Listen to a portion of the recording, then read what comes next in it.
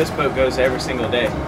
You know, as the season's open, we try to go every day to keep our fish house supplied with fresh shrimp, and we got a lot of restaurants to depend on us too. It is the best shrimp I've ever had, and I've cooked from New England, Florida, the West Coast to South Carolina, and I didn't really know shrimp until I got here. We prefer to use our fresh local shrimp.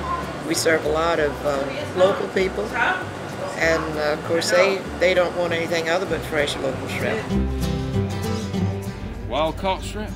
That's what this is all about.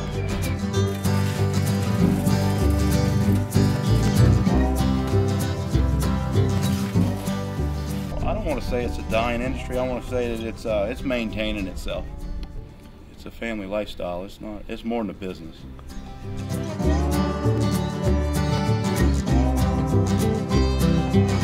I've been from Nova Scotia to Bravo, Texas, Cappy.